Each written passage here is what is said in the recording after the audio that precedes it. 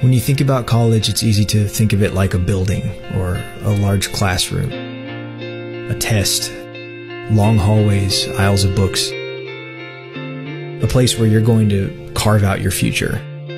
But when you get there, you realize you're not the only one. When you go to university, it's people meeting people, learning from each other and growing together. It's not always about knowing exactly where you're headed. Sometimes it's about finding your way. It's about seeing the field with your own eyes and learning from the best.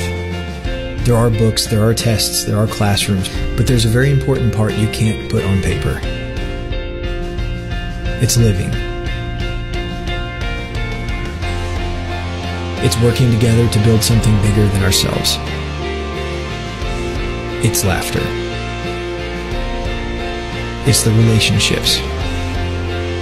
It's good conversation with good friends. It's expressing who we are.